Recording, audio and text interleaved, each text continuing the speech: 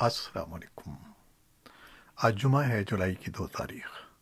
पाकिस्तान में सर शाम के सात, भारत में साढ़े सात और यहाँ हमारे स्टूडियोज़ की घड़ियों में सुबह के दस बज रहे हैं। वॉइस ऑफ़ अमेरिका वाशिंगटन की उर्दू सर्विस से मैं हूँ खालिद हमीद, खबरों के एक बुलेटिन के साथ। पाकिस्तान की पार्लियामेंट की कौमी सलामती कमेटी को बताया गया है कि अफ़गानिस्तान में अमरीकी अफवाज के मुकम्मल इनखला के बाद खाना जंगी की सूरत हाल पैदा होने का खदशा है, जिसके नतीजे में बड़ी तादाद में पना गुजीनों की पाकिस्तान आमद हो सकती है। मुल्क की आला अस्करी क़्यादत की जानब से सियासी रहनुमाओं को बताया गया है कि अफ़गानिस्तान से महाजरीन की आमद पर उन्हें सरहदी इलाकों तक महदूद रखा जाएगा। पाकिस्तान सिविल एविएशन अथॉरिटी और गैर मुल्की एयरलाइंस के दरमियान फ़्लाइट्स की तादाद के हवाले से होने वाले तनाज़े के बाईस हज़ारों पाकिस्तानी बैरून मुल्क फंस गए हैं। सिविल एविएशन अथॉरिटी ने इल्ज़ाम आयद किया है कि गैर मुल्की एयरलाइंस ने अपने रेवेन्यू के लिए बड़ी तादाद में फ़्लाइट्स बुक कर लीं, जबकि उन्हें इस कदर फ़्लाइट्स लाने की इजाज़त नहीं थी। गैर मुल्की एयरलाइंस का इस बारे में कहना है कि सिविल एविएशन अथॉरिटी के 20 फ़ीसद से 40 फ़ीसद फ्लाइट्स के ऐलान के बाद बुकिंग की गई थी। पी आई ए ने मौजूदा सूरत हाल में दोहा और मशरक़ वस्ती के लिए ट्रिपल सेवन तैयारों के ज़रिए इजाफी परवाजें चलाने का ऐलान किया है। वज़ीर अजम पाकिस्तान के मुशीर बरए तजारत अब्दुलरज़ाक दाऊद का कहना है कि पाकिस्तान ने गुजशत माली साल के अख्ताम पर मुल्की तारीख की सबसे ज़्यादा बरामदात की हैं जो पच्चीस आशारिया तीन अरब डॉलर्स की रहीं। उन्होंने इस पर बरामद कुनंदगान को मुबारकबाद पेश की है। उधर दूसरी जानब एक्सपोर्टर्स का कहना है कि मुल्क की बरामदात बढ़ाने के अब भी कई मौाक़े मौजूद हैं, लेकिन तोानाई का बहरान और दीगर मसाइल इसकी राह में रुकावट बने हुए हैं, जिनके हल के बगैर बरामदात में खातिर खा इजाफा मुमकिन नहीं। जबकि माहरीन पाकिस्तान को अपनी बरामदात की रेंज बढ़ाने का मशवरा देते नज़र आते हैं। अफगान सिक्योरिटी अहदेदार ने वॉइस ऑफ़ अमेरिका को तस्दीक की है कि अमरीकी अफवाज ने अफ़गानिस्तान के दारकूमत काबुल के शिमाल में वाक़ बगराम एयरफील्ड को जुमे के रोज़ अफगान नेशनल सिक्योरिटी फोर्सेस के हवाले कर दिया है। वजारत दिफा के तर्जमान रूह उल्ला अहमद जई ने भी एक ट्वीट में बगराम एयरफील्ड को अफगान कौमी सिक्योरिटी फोर्सेस के हवाले करने की तस्दीक की है और कहा है कि बगराम एयरफील्ड को वजारत दिफा के हवाले कर दिया गया है। इसी दौरान जनरल स्कॉट मिलर ने जुमे को सदर गनी से मुलाकात की है। सदारती महल ने अपने ट्विटर पेज पर एक मुख्तसर बयान में कहा है कि दोनों फरीकैन ने अफ़गानिस्तान के लिए, ख़ासतौर पर अफ़गान नेशनल सिक्योरिटी फोर्सेस के लिए अमरीकी ताउन के तसलसल पर तबादला ख्याल किया। उधर ए पी के मुताबिक, तुर्की के वज़ीर दिफा ने जुमे के रोज़ कहा है कि अफ़गानिस्तान में काबुल बैन अवी हवाई अड्डे को चलाने और महफूज रखने के लिए उनके मुल्क की तजवीज़ पर बातचीत हो रही है। तालिबान के दोहा दफ्तर के बयान के मुताबिक तालिबान ने बगराम एयरबेस से गैर मुल्की अफवाज की रवानगी का खैर मकदम किया है। तालिबान के तर्जुमान जबील्ला मुजाहिद ने अपने एक बयान में बगराम एयरबेस को खाली करने के अमल को मुस्बत कदम करार दिया है। उनके बकौल ये इकदाम फरीकैन के मफाद में है। तर्जुमान ने कहा कि गैर मुल्की अफवाज के मुकम्मल इनखला से अफगान आवाम अमन और सिक्योरिटी के करीब जा सकते हैं। अमरीकी चार्ज अफेयर्स रॉस विल्सन का कहना है कि तालिबान अवामी इंफ्रास्ट्रक्चर को तबाह करने, लूटमार और अफगान शहरियों और फौजियों के कत्ल को छुपाने के लिए मीडिया को खामोश करने की कोशिश कर रहे हैं। उन्होंने एक ट्वीट में कहा कि मैं इन खबरों से परेशान हूँ कि तालिबान इन अजला में मीडिया तंजीमों को बंद कर रहे हैं, जिन पर वो हमला करते हैं। और प्रेस ब्लैकआउट में अपने तशद को छुपाने की कोशिश कर रहे हैं। उन्होंने मजीद कहा कि ऐसा लगता है कि वो अवामी बुनियादी ढांचे, लूटमार और अफगान शहरियों और फौजियों के कत्ल को छुपाने के लिए मीडिया को खामोश करने की कोशिश कर रहे हैं। इस बारे में तालिबान की तरफ़ से फौरी तौर पर किसी रद्द अमल का इजहार नहीं किया गया है। सऊदी अरब ने रवा बरस हज से मुतक ऑपरेशन प्लान जारी कर दिया है, जिसके मुताबिक कोरोना वायरस की समाजी एहतियात के तहत साठ हज़ार आजमीन फरीज हज अदा करेंगे। मकामी अखबार सऊदी गजट के मुताबिक हज मुंतजमीन की जानब से बुध को जारी करदा हज ऑपरेशन प्लान के तहत ज़ायरीन के लिए खाना काबा और उसके सहन में नकलो हरकत में आसानी पैदा करने के लिए 800 से जायद मैनुअल और इलेक्ट्रिक गाड़ियाँ फराहम की जाएँगी। ये गाड़ियाँ ख़ास तौर पर जायद उम्र के अफराद के लिए हज की अदायगी के दौरान आसानियाँ पैदा करेंगी। रवा बरस हज का आगाज़ जुलाई के वस से होगा। वबा के दौरान मस्जिद को वायरस से मुकम्मल तौर पर पाक करने के लिए जदीद टेक्नोलॉजी का इस्तेमाल भी किया जाएगा, जिसमें स्मार्ट रोबोट्स और दीगर जदीद तरीक़ार शामिल हैं। रवा बरस अठारह से पैंसठ बरस के मकामी अफराद ही हज का फरीसा अदा कर सकेंगे। हज के लिए आने वाले ज़ायरीन के लिए ज़रूरी है कि वो किसी लाइलाज मरस में मुबतला न हों। वजारत सेहत के आदाद और शुमार के मुताबिक सऊदी अरब में बुध को कोरोना के एक हज़ार चार सौ छियासी नए केसेस रिपोर्ट हुए हैं, जबकि वायरस से मजीद पंद्रह अफराद जान की बाजी हार गए हैं। मुल्क में कोरोना केसेस की मजमू तादाद चार लाख सत्तासी हज़ार पाँच सौ बानवे है, जबकि हलाकतों की कुल तादाद सात हज़ार आठ सौ उन्नीस है। अमरीका के महकमा खारजा ने तुर्की समेत सत्रह मुल्कों को इंसानी स्मगलिंग की रोकथाम के लिए इकदाम करने में बुरी तरह नाकाम मुल्कों की फहरिस्त में शामिल कर लिया है। वज़ीर खारजा एंटनी ब्लिंकन ने इंसानी स्मगलिंग पर मुरतब करदा सालाना रिपोर्ट जुमेरात को महकमा खारजा में मुनदा खसूसी तकरीब के दौरान जारी की। इस मौके पर एंटनी ब्लिंकन का कहना था कि इंसानी स्मगलिंग आलमी बहरान की सूरत इख्तियार कर गई है, जो इंतहाई अजियतनाक मामला है। उनके बकौल ये एक ऐसा जुर्म है, जो इंसानी हकूक़ और इंसानी बेहरमती के दायरे में आता है। अमरीकी वजी खारजा ने कहा कि लगभग दो करोड़ पचास लाख अफराद इंसानी स्मगलिंग के बहरान के जद में हैं, जिनमें बच्चे भी शामिल हैं।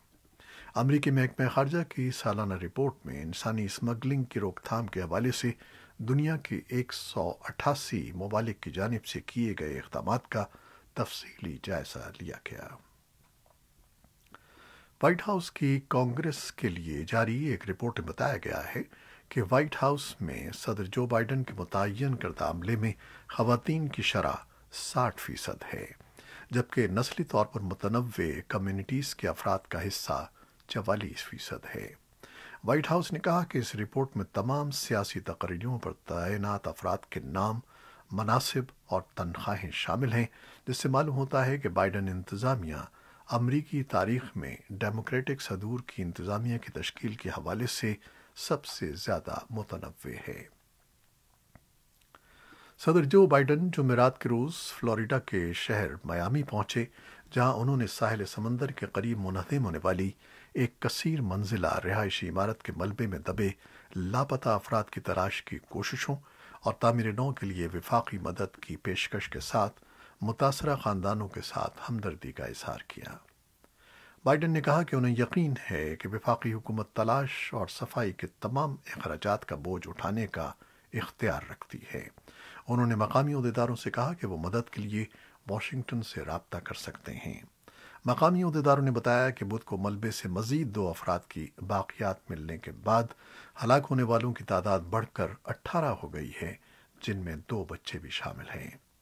24 जून को इस बारह मंजिला अपार्टमेंट बिल्डिंग के तकरीबन निसफ 136 यूनिट आन की आन में जमी बोस हो गए थे। इमारत गिरने से कबल इसकी मरम्मत की तैयारी हो रही थी, जिस पर लाखों डॉलर अखराज का तखमीना था। अमरीका के सबक सदर डोनाल्ड ट्रंप की कंपनी और उसके माली मूर के सरबरा एलन विजलबर्ग को टैक्स अदा न करने के इल्ज़ाम का सामना है और इस सिलसिले में तहकीक़ात और अदालती कार्रवाई जारी है। जुमेरात को न्यूयॉर्क की एक अदालत में ट्रंप के बाएतमाद साथी एलन वेजलबर्ग पेश हुए तो इस मौके पर प्रोसिक्यूटर्स ने इल्ज़ाम आयद किया कि ट्रंप की ग्लोबल रियल इस्टेट पंद्रह बरस से टैक्स चोरी में मुलवस है। इसी तरह विजलबर्ग पर धोखादही समेत 17 लाख डॉलर आमदनी पर मुबैना तौर पर टैक्स अदा न करने के इल्ज़ाम आयद किए गए हैं। दूसरी जानब ट्रंप की कंपनी ने अपने एक बयान में कहा है कि सबक सदर को नुकसान पहुँचाने के लिए विजलबर्ग को एक पॉलिसी के तहत इस्तेमाल किया जा रहा है। अमरीकी ऐवान नुमाइंदान ने 6 जनवरी को कैपिटल हिल पर दावा बोलने की कार्रवाइयों के लिए नई तहकीक़ात का आगाज़ किया है। कानून साजों ने बुध के रोज़ पुरतशद हमले की तहकीक़ात के लिए एक खसूसी कमेटी की मंजूरी थी उस वक्त सदर डोनाल्ड ट्रंप के हमायतियों का मुकाबला करने वाले जख्मी हो जाने वाले अफसर गैलरी में मौजूद ऐवान की कार्रवाई का जायजा ले रहे थे। ऐवान की डेमोक्रेटिक स्पीकर नैन्सी पुलोसी उनके साथ शामिल हो गईं और उन्हें गले लगाया। पैनल के तश्कील की करारदाद पर वोटिंग पार्टी बुनियादों पर हुई, जबकि रिपब्लिकन्स को इतराज़ है कि डेमोक्रेट्स की अक्सरियत इंचार्ज होगी। सेनेट रिपब्लिकन्स की तरफ़ से एक आज़ाद कमीशन के क्याम पर पाबंदी के बाद ये वोटिंग हुई। बैन अवी मालियाती इदारे आई एम एफ़ ने जुमेरात को एक रिपोर्ट में कहा है कि अमरीकी मीशत गुजशत साल के इंतहाई मुश्किल हालात से मज़बूत बुनियादों पर निकल रही है और इदारे को तो है कि इस साल मीशत की तरक्की सात फ़ीसद होगी। एसोसिएटेड प्रेस के मुताबिक आईएमएफ की मैनेजिंग डायरेक्टर क्रिस्टलिना जॉर्जेफा ने एक वर्चुअल प्रेस ब्रीफिंग में बताया है कि यह अमेरिका के लिए बड़ी खुशखबरी, बल्कि आलमी मीशत के लिए भी वाकई बड़ी खुशखबरी है। अमेरिका में मुसलसल चार हफ्तों से बेरोजगारी अलाउंस की दरखास्तों में इंतहाई कमी देखने में आ रही है। जुमेरात के रोज़ अमरीकी महकमा मेहनत ने अपनी जारी करता ताज़ा रिपोर्ट में बताया है कि पिछले हफ़्ते तीन लाख तैंतालीस हज़ार बेरोजगारी अलाउंस की दरखास्तें मौसू हुई। ये इससे एक हफ़्ता पहले के मुकाबले में उनतीस हज़ार कम थीं। इस साल ये चौथा हफ़्ता है जिसमें मुतवाद बेरोजगारी अलाउंस के लिए दरख्वास्त देने वालों की तादाद में कमी देखने में आई है। तादाद के लिहाज से ये इस साल का दूसरा हफ़्ता है जब इतनी कम दरखास्तें मौसू हुई हैं। और अब कोरोना वायरस से मुतल कुछ खबरें। सियाहत से दुनिया के करोड़ों लोगों का बिलवास्ता और बिलावास्ता रोज़गार वाबस्ता है, लेकिन आलमी वबा के दौरान मीशत का यह शुबा दुनिया भर में बुरी तरह मुतासर हुआ है। एक ताज़ा तरीन रिपोर्ट के मुताबिक माशी सरगर्मियों में कफ़ी, कमी और सफरी बंदिशों के दौर में सियाहत में जमूत किसी कैफियत के बायस आलमी मीशत को चार ट्रिलियन डॉलर का नुकसान हो सकता है। ये माशी नुकसान इससे पहले लगाए गए अंदाजों से कहीं ज़्यादा है, क्योंकि आलमी वबा पर काबू पाने के लिए वैक्सीन की अदम दस्तियाबी से दुनिया के कई हिस्सों में कोरोना वबा से कबल जैसी ज़िंदगी की बहाली में मजीद वक्त दरकार है। सियाहत के दरवाजे बंद होने से सबसे ज़्यादा नुकसान तरक्की पजीर ममालिक को हुआ है, जहाँ सयाहों की तादाद में साठ से अस्सी फ़ीसद तक कमी देखी गई है। अकवा मुतहदा के तजारती और तरक्याती इदारे की कायम मकाम सेक्रेटरी जनरल एजाबिल डेरन के मुताबिक सियाहत की बहाली के लिए आलमी सतह पर वैक्सीन की दस्तियाबी और लोगों को वसी पैमाने पर वैक्सीन लगाने का मौसर निज़ाम एक कलीदी हैसियत रखता है। यूरोपीय यूनियन ने बाबा तौर पर अपने डिजिटल कोविड 19 सर्टिफिकेट का आगाज़ कर दिया है। ये सर्टिफिकेट रुकन ममालिक में मुकम्मल तौर पर वैक्सीन हासिल करने वाले अफराद के लिए सफ़र को महफूज और आसान बनाने के लिए तैयार किया गया है। लेकिन कम अज़ कम एक एयरलाइन का कहना है कि ऐप के इस्तेमाल के पहले दिन ही कुछ मसाइल की निशानदेही हुई है। यूरोपीय यूनियन ने डिजिटल सर्टिफिकेट को डिज़ाइन किया है और ये एक स्मार्टफ़ोन ऐप के तौर पर या कागज़ी शक्ल में दस्तियाब है और इस सर्टिफिकेट का मकसद हामिल अफराद को करंतना जैसी पाबंदियों से मुस्तना करना है। अमेरिका और बरतानिया ने साइबर स्पेस में रूस की सरगर्मियों के बारे में एक बार फिर इंतबाह किया है और क्रेमलिन पर इल्ज़ाम आयद किया है कि वो हुकूमती इदारों, डिफेंस कॉन्ट्रैक्टर्स, यूनिवर्सिटियों और हती के सियासी जमातों के अहम सिस्टम्स में दरअंदाजी की बार बार कोशिश कर रहा है। अमरीकी अहदेदारों ने तंजीमों और इदारों पर ज़ोर दिया है कि वो इस दरअंदाजी के मुकाबले के पहले कदम के तौर पर बुनियादी एहतियाती तदाबीर पर अमल करें। Cyber security firm check point ने खबर दी है कि चीनी हैकर्स ने हाल ही में वस्ती एशियाई मुल्कों को हदफ बनाकर साइबर जासूसी की एक कार्रवाई के सिलसिले में अफ़गानिस्तान की कौमी सलामती कौंसिल के कंप्यूटर नेटवर्क्स में दरअंदाजी की कोशिश की है। जुमेरात को जारी एक रिपोर्ट में रिसर्चर्स ने कहा कि चीनी जबान बोलने वाले एक हैकिंग ग्रुप का, जिससे साइबर सिक्योरिटी के माहरीन इंडिगो जिब्रा के तौर पर जानते हैं। ये मुबैना हमला उस कार्रवाई के सिलसिले में ताज़ा तरीन है, जो उसने सन 2014 में शुरू की थी। और पड़ोसी मुल्क उज़्बेकिस्तान और किर्गिस्तान के सियासी इदारों को हदफ बनाया था। माहरीन का कहना है कि मुमकिन है दूसरे मुल्कों को भी हदफ बनाया गया हो। बरतानिया के शहजादा विलियम और शहजादा हैरिस ने अपने आजहानी वालिदा शहजादा डियाना की साठवें योम पैदाइश के मौके पर जुमेरात को लंदन के किंगस्टन पैलेस में एक तकरीब में उनके मुजस्मे की नकाब कुशाई की। ये पहला मौका है कि दोनों भाई अप्रैल में अपने दादा प्रिंस फिलिप की आखिरी रसूमात के मौके के बाद एक दूसरे से मिले थे। विलियम जो उनतालीस साल के हैं और छत्तीस साल हैरी ने किंगस्टन पैलेस शहजादी डयाना के लंदन के घर के करीब मुनदा एक तकरीब में इस मुजस्मे की नकाब कुशाई की। पाकिस्तान क्रिकेट बोर्ड ने मर्दों की टीम के लिए सेंट्रल कॉन्ट्रैक्ट बरए सन 2021-22 का ऐलान कर दिया है।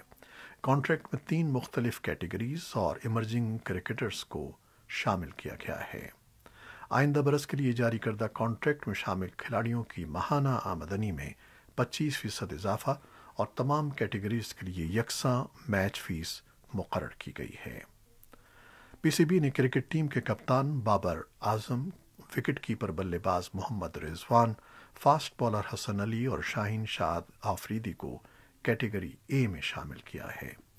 अजहर अली, फ़खर जमान, फ़हीम अशरफ, फवाद आलम, शादाब खान और यासिर शाह को कैटेगरी बी में शामिल किया गया है, जबकि इमामुल हक, आबिद अली, हारिस रऊफ़, मोहम्मद हुसनैन और मोहम्मद नवाज़, नुमान अली और सरफराज अहमद को कैटेगरी सी में रखा गया है। ये थी वो खबरें जो फेसबुक लाइव पर हमने आपके लिए पेश की। हमारी वेबसाइट और यूट्यूब पर ये बुलेटिन पोस्ट कर दिया जाता है, जिसे आप बाद में भी देख सकते हैं। हमारे इस बुलेटिन को शेयर करना ना भूलिएगा। खालिद हमीद को भी इजाज़त दीजिए। अल्लाह हाफिज़।